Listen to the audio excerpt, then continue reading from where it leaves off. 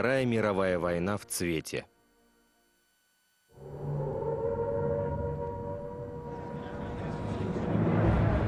Оборона Британии. 22 июня 1940 года Британия осталась нацистами один на один. Франция сдалась, и премьер-министр Уинстон Черчилль мог только призывать к сопротивлению. Мы будем сражаться на пляжах, на аэродромах, на полях и на улицах. Мы будем сражаться на холмах. Мы никогда не сдадимся.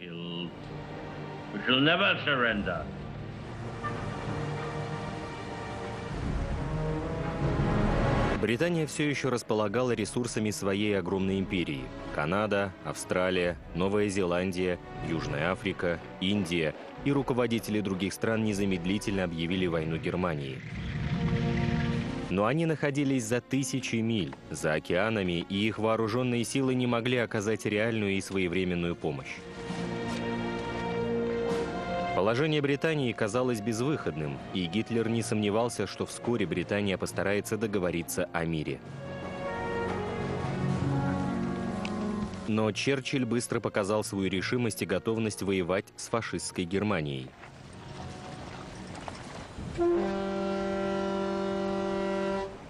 Мощная флотилия из двух французских линкоров и двух крейсеров стояла в порту Мерсель-Кебир во французской Северной Африке – если бы эти корабли попали в руки немцев, то положение британского флота в Средиземном море стало бы безнадежным. Поэтому 3 июля командование Королевского флота потребовало, чтобы французские корабли либо присоединились к ним, либо отправились в нейтральный порт для интернирования. Французы отказались.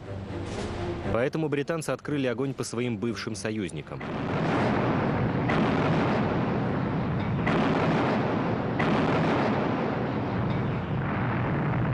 Часть кораблей была уничтожена, другая часть серьезно повреждена. Погибли около 1300 французских моряков.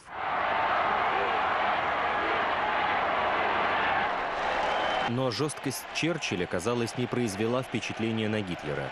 19 июля он с триумфом вернулся в Берлин, где его приветствовали более миллиона человек – в этот день в Рейхстаге, германском парламенте, он произнес речь, предлагая Британии заключить мир.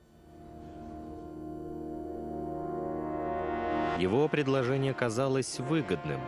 Британия могла сохранить свою империю. Взамен Гитлер претендовал на полную свободу в Европе.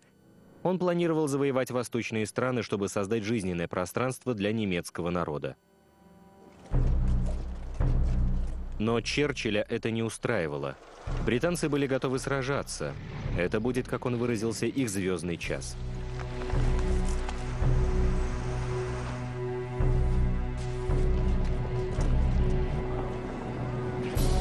Нация поддержала позицию Черчилля. Король Георг VI написал в своем дневнике «Лично я чувствую себя лучше, когда у нас больше нет союзников, чтобы с ними любезничать и баловать».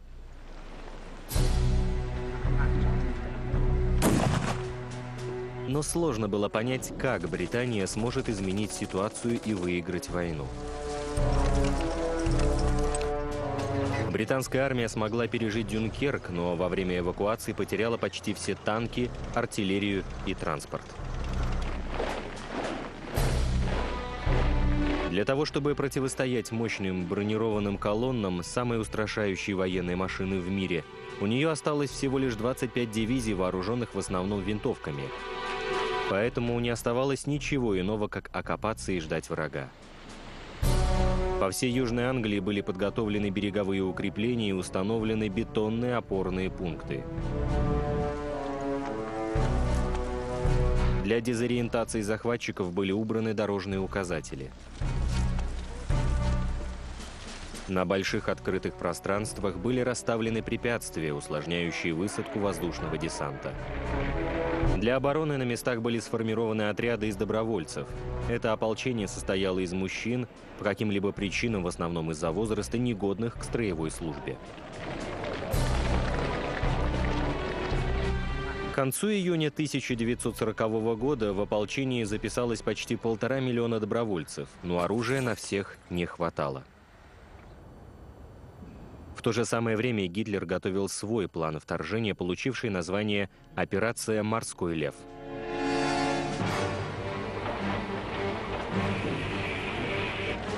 Около 20 дивизий должны были высадиться на широком фронте по всему южному побережью Англии. По всей северо-западной Европе собирались баржи. Они поспешно переоборудовались в суда, пригодные для высадки десанта. Солдат обучали высадки на побережье. Но, несмотря на всю браваду Гитлера, стратеги, планировавшие операцию «Морской лев», были обеспокоены. Гитлер мог считать Ла-Манш еще одной речкой, через которую нужно переправиться, но британский флот все еще оставался самым крупным в мире. Его корабли стояли на дежурстве в разных уголках планеты, выполняя боевые задачи, но оборонные силы Королевского флота численно превосходили германский флот. Командующий германским флотом адмирал Эрих Редер не был уверен в том, что сможет удержать контроль над Ла-Маншем достаточно долго, чтобы переправить свою армию. Но немцы располагали одним явным существенным преимуществом. Численность самолетов Люфтваффе значительно превосходила численность самолетов Королевских военно-воздушных сил. Генерал-фельдмаршал авиации Герман Геринг нисколько не сомневался, что сможет контролировать воздушное пространство над проливом во время всей операции «Морской лев».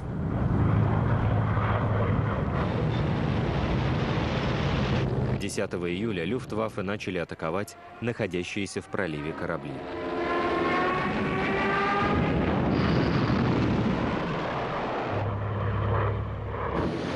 В ответ англичане выставили две наиболее выдающиеся модели нового поколения хорошо вооруженных одномоторных монопланов – Супермарин Spitfire и Хоукер Hurricane.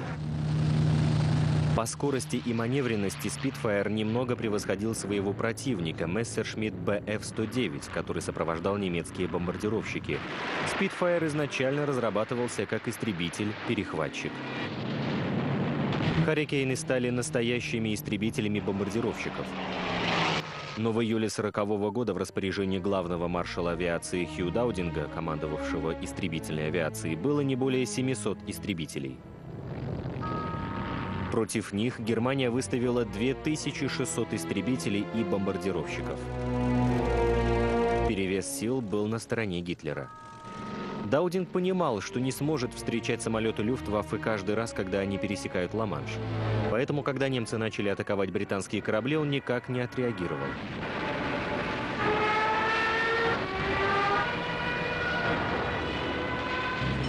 Вместо этого он задействовал самолеты только для того, чтобы не дать Люфтваффе установить господство в воздушном пространстве, необходимое для вторжения. Поэтому он отвечал только на массированные атаки. К счастью, у англичан имелось одно важнейшее изобретение – радар. В конце 30-х годов ученые и в Англии, и в Германии знали, что объекты, недосягаемые для человеческого взора, можно обнаружить с помощью облучения их радиосигналом, рассчитывая время, за которое возвращается отраженный сигнал. Команда английских ученых под руководством Роберта Ватсона Ватта начала разрабатывать радар как средство обнаружения приближающегося самолета на большом расстоянии. Их работой заинтересовался Даудинг. Он сделал радар главным элементом первой в мире комплексной системы противовоздушной обороны – Сеть из 21 90-метровой радарной мачты, расположенной вдоль южного и восточного побережья Англии, получила название «домашняя цепь». Они могли засечь самолет на расстоянии почти 200 километров, указывая расстояние до цели, направление движения, высоту и бортовой номер. Эта информация передавалась в штаб-квартиру истребительной авиации, находившуюся в Бентли-Приоре под Лондоном. Там она обрабатывалась, и предупреждение о приближающемся налете передавалось в диспетчерскую истребительной авиации. Взлет Y1 по Skyblue цель 1 канал Ди Джордж. Понял? Диспетчеры передавали сигнал тревоги на ближайший аэродром ВВС, определяя необходимое количество истребителей. Вопрос заключался в том, сможет ли радар восполнить значительное численное превосходство германских ВВС. Все готовились к бою, который получил название «Битва за Британию». С 10 июля 1940 года германские самолеты атаковали британские корабли в проливе Ла-Манш. Командующий Люфтваффе рейхсмаршал Герман Геринг решил втянуть британские ВВС в сражение. Главный маршал авиации Британии Хью Даудинг не попался на эту наживку. Он берег свои истребители, понимая, что решающее сражение еще впереди.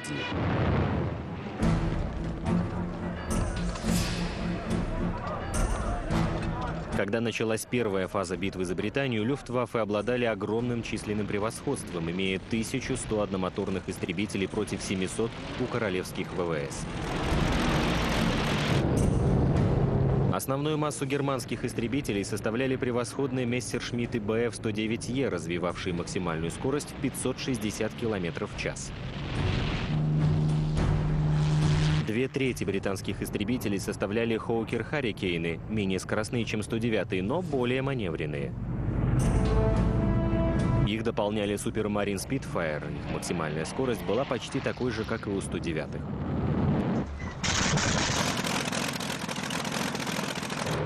Для вторжения немцы приготовили 1300 средних бомбардировщиков Дорнье-До-17, Хейнкель Х-111 и Юнкерс Ю-88, каждый из которых мог нести почти 2 тонны бомб.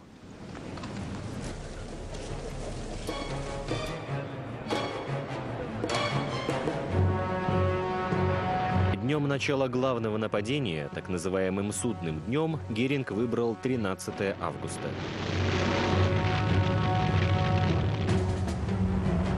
Он намеревался уничтожить истребители противника в воздухе, а также их аэродромы и заводы, на которых они производились. За день до этого немцы провели подготовительные атаки. Их основной целью были аэродромы и башни радаров на южном побережье.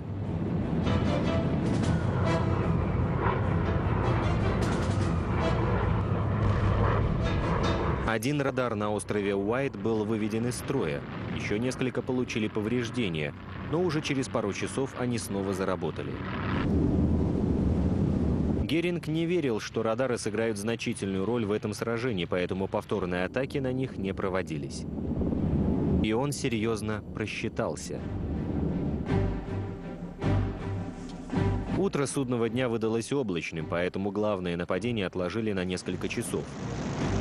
Когда нападение началось, радары дали своевременное предупреждение. На связи башня М, самолеты в пяти километрах к юго-западу.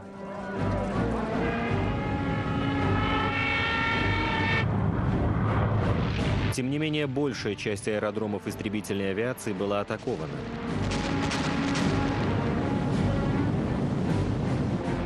К концу дня они все нормально функционировали.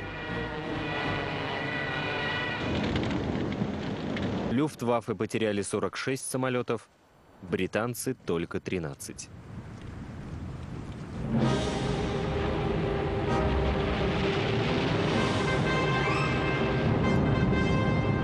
Самая мощная во всем сражении атака Люфтваффе была назначена на 15 августа.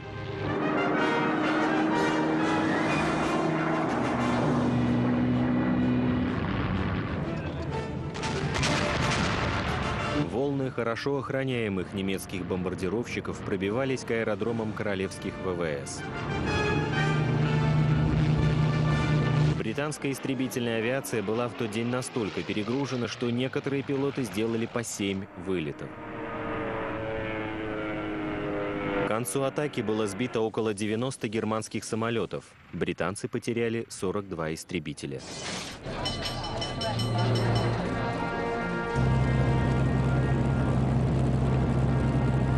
Протяжении следующих нескольких дней сражение продолжалось с той же яростью. Обе стороны были измождены до предела. Даудинг старался менять пилотов, давая им отдохнуть, но ему их просто не хватало. Многие из них отправлялись в сражение, налетав всего лишь по 10 часов. Люфтваффе также несли потери. Их пилоты были потрясены и деморализованы жизнестойкостью англичан. Казалось, что британские истребители их уже поджидали.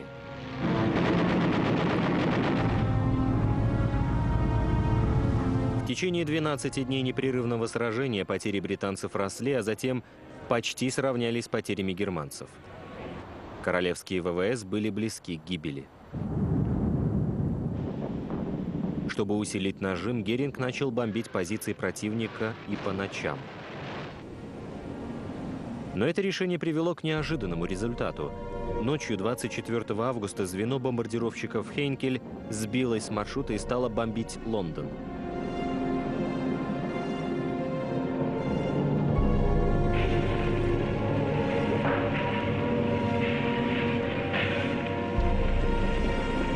Была первая атака гражданского объекта. Следующей ночью 81 британский бомбардировщик ответил рейдом на Берлин.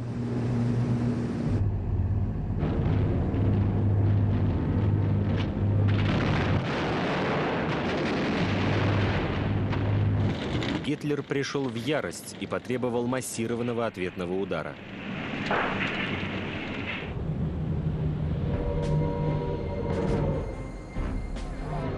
Это произошло вечером 7 сентября. Немецкие бомбардировщики атаковали лондонские доки и прилегающие к ним территории. Погибли более 450 человек, тысячи домов были разрушены. Но это стало второй большой ошибкой Геринга – Отвлекшись от аэродромов истребительной авиации в тот момент, когда она была уже на грани, он дал ей передышку, в которой она нуждалась. Если бы Геринг продолжал бомбить аэродромы, истребители бы не смогли продолжать защищать небо. Затем, 15 сентября, английские радары обнаружили очередную эскадрилью, летевшую на Лондон. Первая волна из 100 бомбардировщиков и 400 истребителей была остановлена. Сражение разыгралось по всему побережью.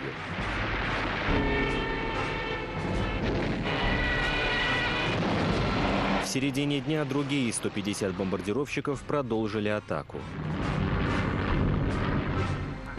В тот день Уинстон Черчилль находился в штаб-квартире истребительной авиации. Когда он услышал, как диспетчеры просят подкрепления у соседних групп, он спросил, какие еще резервы у нас есть. Ему ответили, их нет.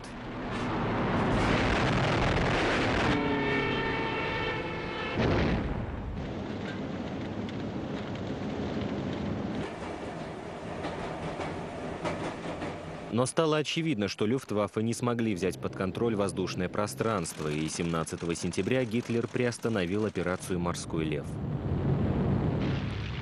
Битва за Британию еще не закончилась, она затихла. Гитлер стал пробовать другую тактику.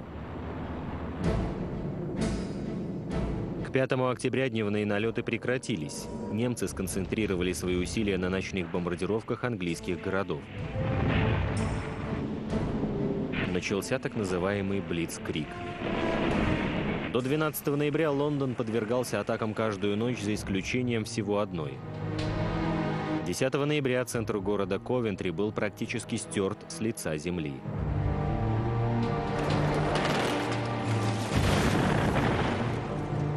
Блицкриг продолжался до 1941 года, и последняя значительная атака на Лондон была совершена ночью 10 мая. Эти бомбежки унесли жизни более чем 50 тысяч граждан. Но никто не сомневался, что Британия устоит.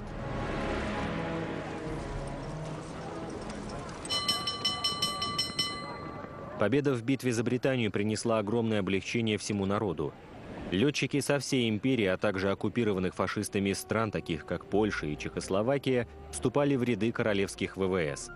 Черчилль выразил благодарность всей нации так. Никогда еще в истории человеческих конфликтов не было, чтобы столь многие были так обязаны столь немногим. Однако для Гитлера это была всего лишь неприятная задержка. Он был убежден, что Британия никогда не станет серьезной угрозой его армии, поэтому он занялся Восточной Европой. Британии предоставилась возможность восстановиться за очень короткое время, чтобы дать сдачи врагу. Но для этого Черчиллю требовалась помощь.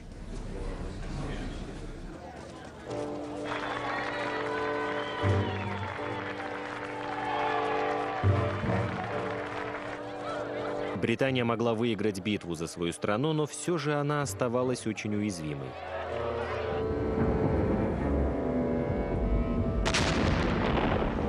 Каждую ночь фашистский блицкриг обрушивался на ее города.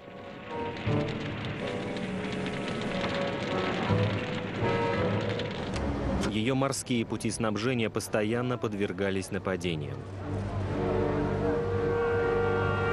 Черчиллю требовалось больше помощи. И только одна страна могла ее предоставить. Соединенные Штаты Америки.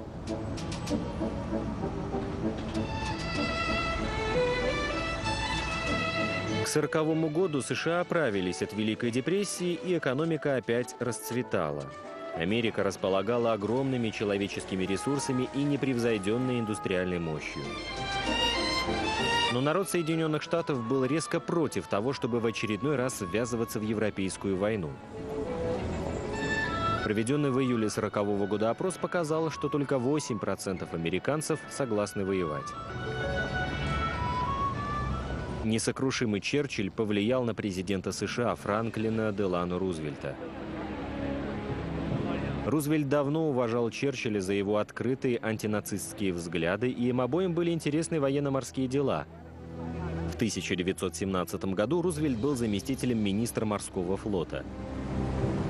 Заняв пост президента, Рузвельт продолжал поддерживать отношения с Черчиллем. Между ними началась переписка, и Черчилль подписывался «бывший военно-морской деятель». Невзирая на весь свой добродушный имидж, Рузвельт не питал иллюзий насчет того, что рано или поздно Германия втянет Америку в войну. Поэтому он решил изменить общественное мнение американцев.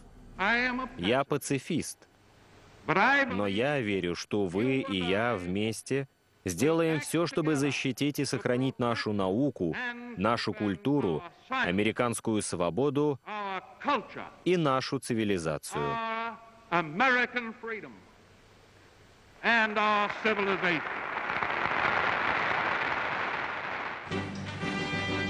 В июле 40 -го года он получил согласие на значительное расширение военно-морского флота, включая строительство шести больших линкоров и авианосцев нового класса. Спустя месяц Конгресс согласился, чтобы Национальная гвардия и другие резервы были призваны на действительную службу на один год. И в сентябре было согласовано большое расширение 150-тысячной армии США с ограниченным числом призывников, выбранным с помощью лотереи. Первым номером, который вытянул министр обороны, является число 158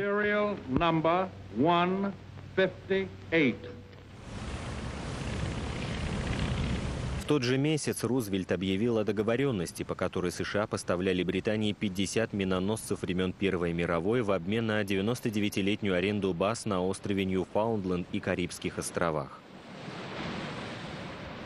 Британский флот, остро нуждавшийся в охране, способный бороться с подводными лодками, начал забирать эти миноносцы буквально через несколько дней после подписания соглашения. Очевидное свидетельство того, что Рузвельт уверенно выигрывает, было получено на президентских выборах в ноябре 1940 года, когда он явно победил изоляциониста Уилсона Уилки, получив 27 миллионов голосов против 22. В конце года Рузвельт обратился к американскому народу, выделив четыре важных принципа свободы, которые, как он считал, находятся под угрозой и защищая которые воевала Британия –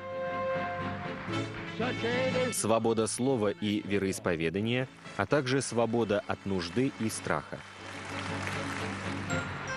Чтобы защитить эти свободы, Соединенные Штаты должны были стать арсеналом демократии, иными словами, вооружить Британию. Мы будем отправлять вам все больше кораблей, самолетов, танков и пушек. Это наше намерение и наше обещание.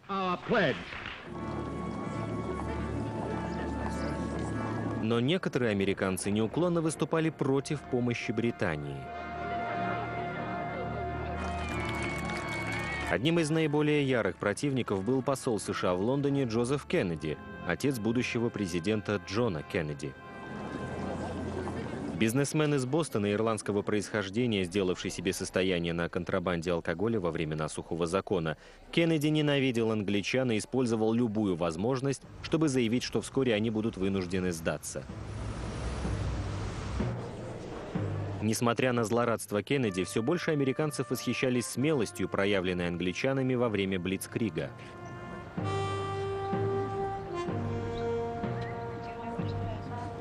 Передачи лондонской студии CBS, в особенности подготовленной корреспондентом Эдом Марроу, помогли изменить общественное мнение. Говорит Лондон. Я вспоминаю воскресный вечер 29 декабря. Он был таким же, как все другие зимние вечера. Первые бомбардировщики появились над Лондоном около половины седьмого. Вскоре из окон верхних этажей стали вырываться языки пламени. Однажды Гитлер похвастался «Я сотру города с лица земли». Вот что он подразумевал.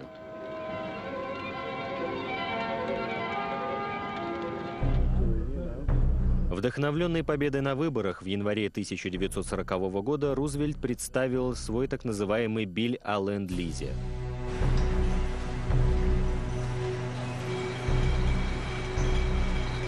Соединенные Штаты поставят оружие и сырье Англии и Китаю, который все еще отчаянно боролся с японским вторжением. Оплата будет произведена позже.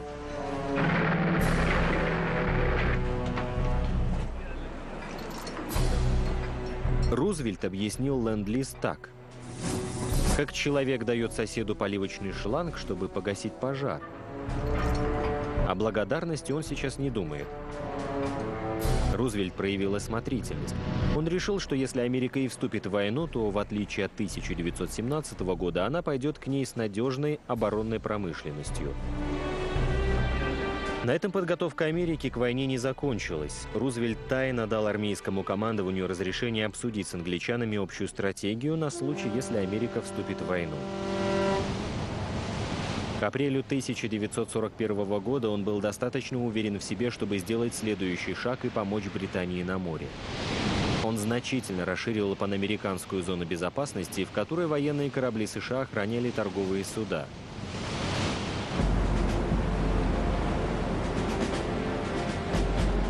мае армия США разместила свои базы в Гренландии, и в июле морская пехота США отправилась на смену британскому гарнизону, который охранял гавань от вторжения германских кораблей.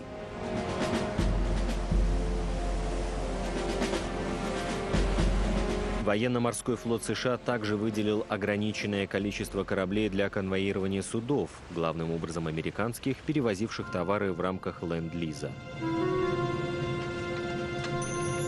Гитлер дал четкие указания своим подводным лодкам не топить американские суда, потому что не хотел втягивать США в войну. Но столкновений избежать не удалось. 4 сентября 1941 года английский самолет атаковал немецкую подлодку.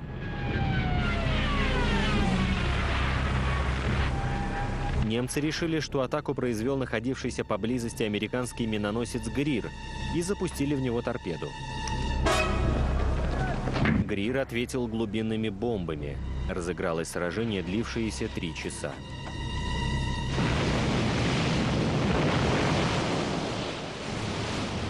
Ни одно судно не было потоплено, но напряжение нарастало. 17 ноября миноносец США «Кирни» во время конвоирования у берегов Исландии был подбит торпедой. Командир подводной лодки утверждал, что произошла ошибка, что он выстрелил по английскому кораблю, но Кирни оказался на пути торпеды. Однако 11 американских моряков погибли, и миноносец едва смог вернуться в порт Рейкьявик. Рузвельт выразил протест, американская пресса неистовствовала. Но общественность США продолжала противиться вступлению в войну. Спустя несколько недель к концу 1941 года ситуация кардинально изменилась буквально за день.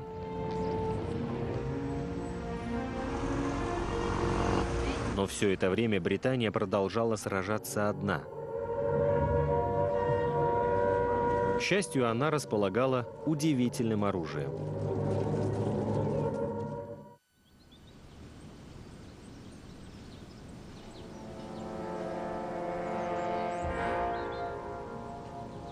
Этот дом похож на другие английские поместья, только немного не ухожен. Но Блэчли парк тогда хранил секрет, благодаря которому удалось коренным образом изменить ход Второй мировой войны. Потому что именно там Британия работала над расшифровкой сверхсекретных немецких кодов.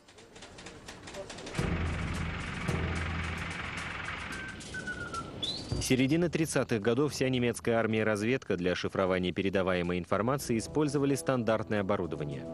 Шифровальную машину Е, более известную под названием «Энигма».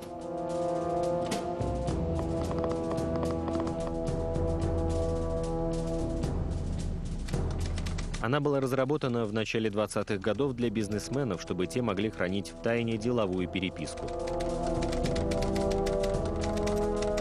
Питание поступало от аккумулятора, закодированные сообщения передавались азбукой Морзе, и принимающая сторона расшифровывала их с помощью другой машины «Энигма». Самым важным элементом машины были три ротора, установленные для кодирования так, что переданные сообщения могла расшифровать только другая машина с такими же настройками. Роторы нужно было заменять и устанавливать по-другому. В результате любое закодированное письмо можно было прочитать одним из 150 миллионов способов. Учитывая почти бесконечное число настроек и частоту их изменения, неудивительно, что на протяжении всей войны германское руководство было уверено, что «Энигму» нельзя раскодировать. Поляки первыми предприняли попытку разгадать эту неразрешимую загадку. Они знали о существовании машин Энигмы и собрали группу ведущих математиков, чтобы взломать ее. Мариан Режевский, Джерси Рожицкий и Генри Жигальский. Но группа, не зная внутреннего устройства роторов, не могла расшифровать переданные сообщения. Решение предложила французская разведка, передавшая полякам материалы, собранные агентом в отделе шифровки немецкой армии. Это была почти полная инструкция к «Энигме». Поляки смогли воссоздать «Энигму» и начали старательно расшифровывать сообщения. К июлю 1939 года Гитлер уже открыто угрожал Польше. Британия и Франция обещали прийти на помощь. Все ожидали начала войны.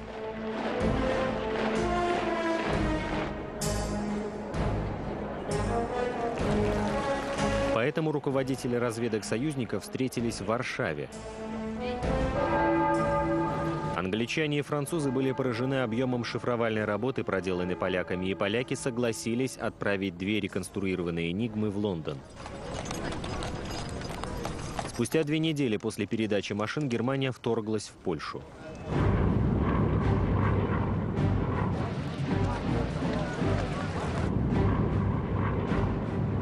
К тому времени, как Польша сдалась Германии, польские криптографы уничтожили все доказательства своей работы над «Энигмой».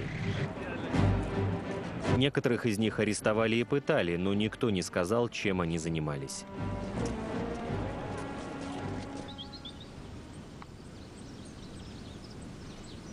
Работу поляков продолжили в правительственной школе кодов и шифров в Блэчли-парке в окрестностях Лондона. Ее возглавлял Алистер Деннистон. Чтобы продолжить работу по декодированию, он набрал странную команду из математиков, шахматистов и специалистов по кроссвордам. Среди этих экспертов был и Алан Тьюринг, преподаватель из Кембриджа – 1936 году Тьюринг предложил идею универсальной вычислительной машины, устройство которое, по его убеждению, однажды сможет решить все математические задачи. Он использовал эти идеи для разработки дешифровальных машин под названием «бронзовые богини». Необработанный материал поступал в Блэчли от британской службы Y, сети радиостанций прослушки, контролировавших и записывающих переговоры немцев. Эти сообщения загружались в бронзовых богинь, процесс преобразования продолжался до нахождения последнего ключа.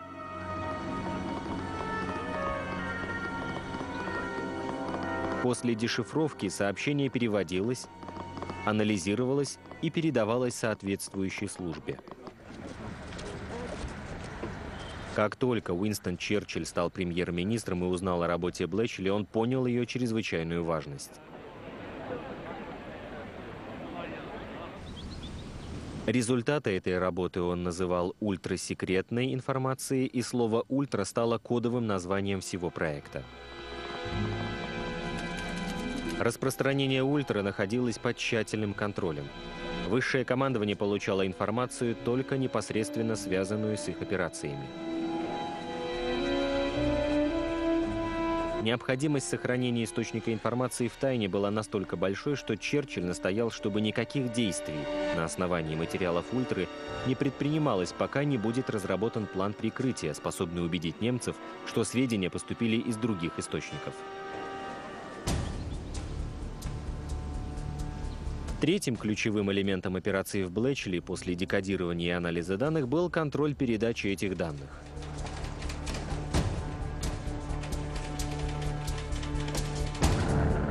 Часто «Ультра» давала важную информацию о планах и действиях Германии. Сообщения о готовящихся наступлениях и другие разведданные собирались в обширную картотеку. Она постоянно просматривалась в поисках ответов на важные вопросы. К концу войны Блэчли декодировал большую часть немецкой корреспонденции почти сразу после ее отправки – шутку говорили, что германским командирам, чтобы получить приказ, быстрее позвонить в Блэчли.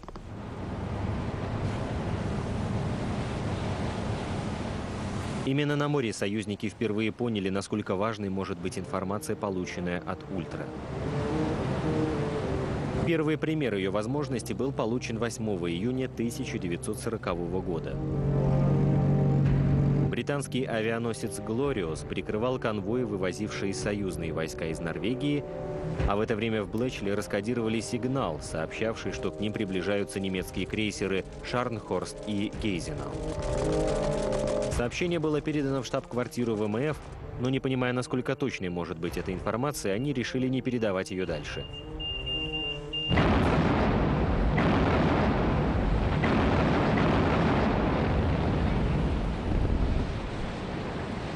Глориос был перехвачен и затоплен. Британский флот на своих ошибках узнал, насколько важным может быть этот новый источник информации. Такую ошибку нельзя было повторять вновь.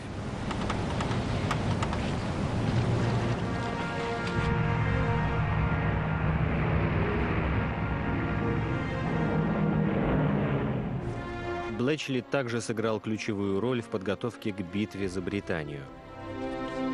Он предоставлял четкую картину расположения сил Люфтваффе в сражении, а также общую стратегию их командующего Германа Геринга. Эта информация убедила командующего истребительной авиации маршала Хью Даудинга, что его тактика отправки истребителей малыми группами вместо одной большой была правильной. Эта тактика сыграла решающую роль в сохранении небольшого преимущества королевских ВВС над врагом.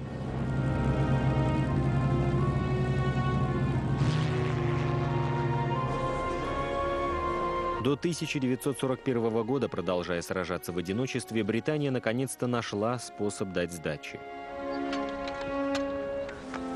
Блэчли Парк был готов действовать.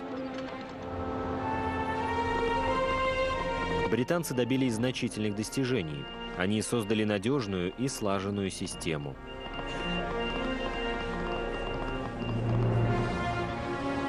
В последующие годы Ультра доказала свою жизненную важность в победе союзников. Но пока продолжалась битва за Британию и Блицкрик, много еще предстояло сделать. Черчилль все требовал более ощутимых результатов, и в начале 1941 года ему показалось, что он нашел способ, как их получить.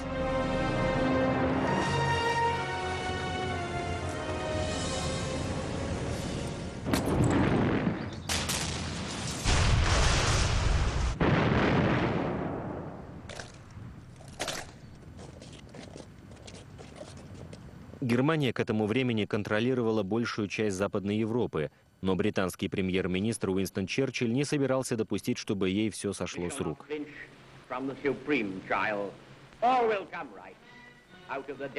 Еще до капитуляции Франции он искал способы для контратак и поддержки движения сопротивления в оккупированных странах.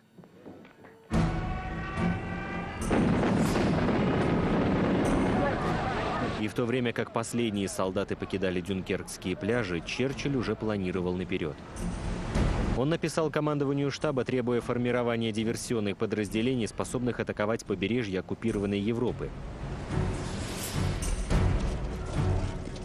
Через несколько дней был объявлен набор добровольцев отряд численностью 5000 человек.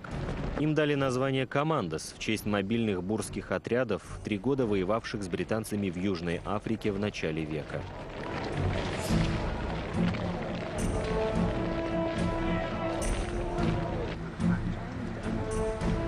Подготовлено 10 отрядов командос по 500 человек.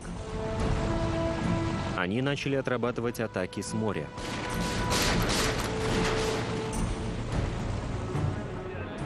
Один отряд обучался воздушному десантированию и работе с планерами. Вскоре на его базе был создан отдельный парашютно-десантный полк. Адмирал сэр Роджер Кейс был назначен начальником управления разработки совместных операций. Черчилль поручил ему подготовить проведение трех основных рейдов, как только угроза вторжения в Англию спадет.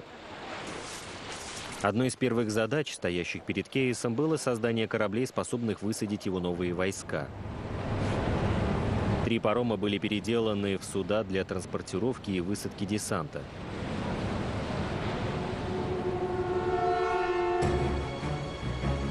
4 марта 1941 года два отряда командос и отряд подрывников высадились на островах Лофотен в Северной Норвегии.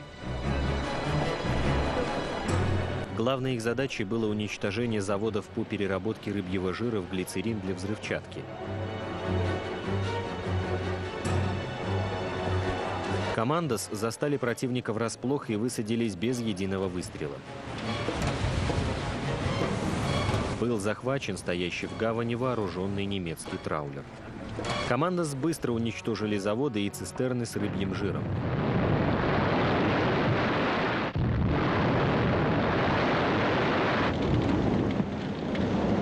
Один из офицеров не смог удержаться и из местного почтового отделения отправил телеграмму Гитлеру в Берлин с таким текстом – в своем недавнем выступлении вы, кажется, сказали, что где бы на европейском континенте не высадились английские войска, их везде встретят немецкие солдаты. Ну так где же они? Прежде чем командос отправились домой без каких-либо потерь, они взяли в плен около 60 норвежских пособников-оккупантов и 225 немцев. С собой они забрали 115 норвежских добровольцев, которые в Англии должны были присоединиться к добровольной норвежской гвардии.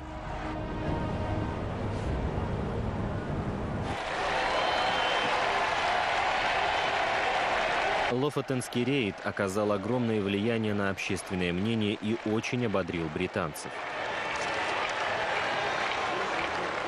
Ну а о самом важном результате этой операции нельзя было говорить вслух – британцы захватили комплект роторов машины «Энигма».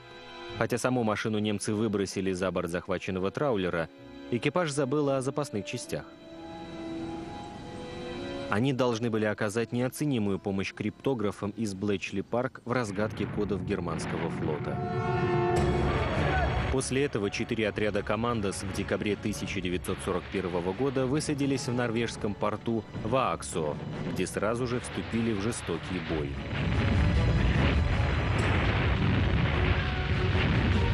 Подступ к Вааксо прикрывал небольшой остров Маллой. На нем находились части немецкой артиллерии. Они быстро сдались, но на том берегу, в Аксо, разыгралось настоящее сражение.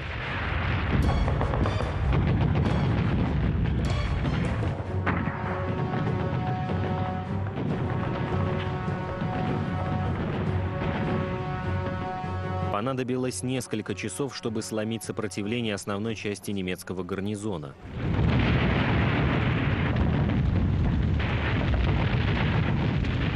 После этого командос взорвали несколько заводов и пустили на дно моря 8 кораблей.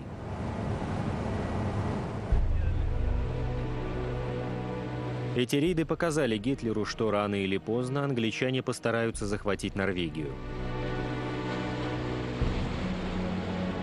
Поэтому оставшиеся четыре года войны он держал там около 250 тысяч солдат, войска, которые бы могли сыграть ключевую роль на других фронтах. Но какими бы эффективными не были рейды команды, с их нападения не могли остановить фашистов. Черчиллю были нужны другие способы нанесения ущерба врагу, поэтому он сконцентрировался на помощи движению сопротивления в оккупированных странах. В июле 1940 года был создан отдел специальных операций ОСО, чтобы, как сказал Черчилль, зажечь всю Европу.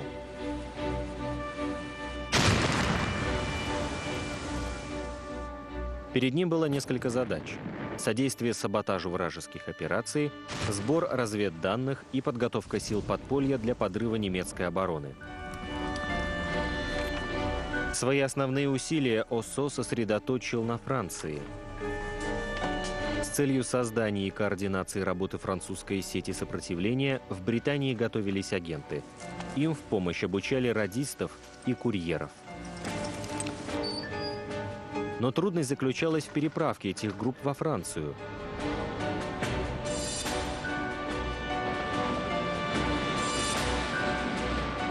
Британцы испробовали все – субмарины, скоростные катера и рыболовецкие суда.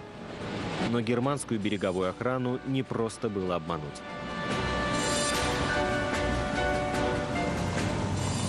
Решить проблему помог самолет, и в августе 1940 года было создано особое звено королевских ВВС, состоящее из бомбардировщиков Уитли и самолетов с коротким взлетом и посадкой в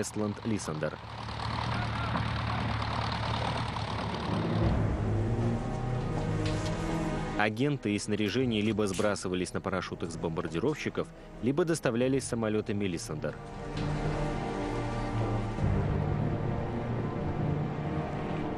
Лунными ночами все большее число принимающих групп ждали их появления, и вместе с этим сеть движения сопротивления все больше расширялась.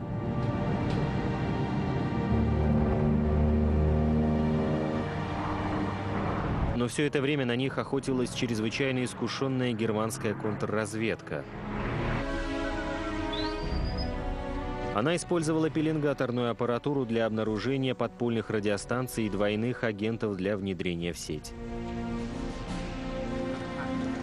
Агенты ОСО очень рисковали, срок их службы, как правило, был коротким. Малейшая утрата бдительности могла привести их в гестапо. Многие из них были замучены и убиты.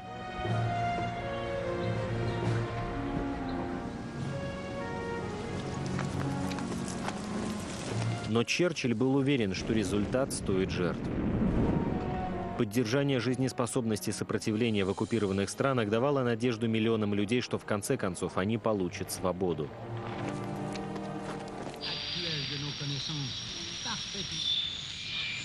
Британская радиовещательная корпорация BBC также поддерживала надежду в тех, кто оказался под немецким гнетом.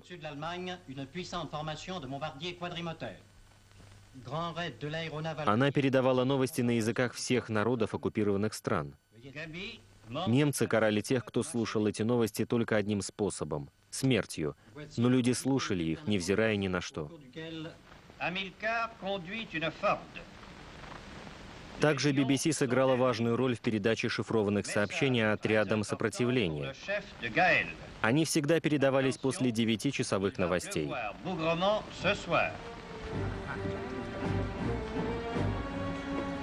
Для народов оккупированной Европы перспектива освобождения могла казаться далекой мечтой, но в середине 1941 года она внезапно стала более ощутимой. Потому что к этому времени Британия больше не была одинока в борьбе с фашизмом. У нее появился сильный союзник. Но им стали не США, которых Черчилль так старательно обхаживал. Это был Советский Союз.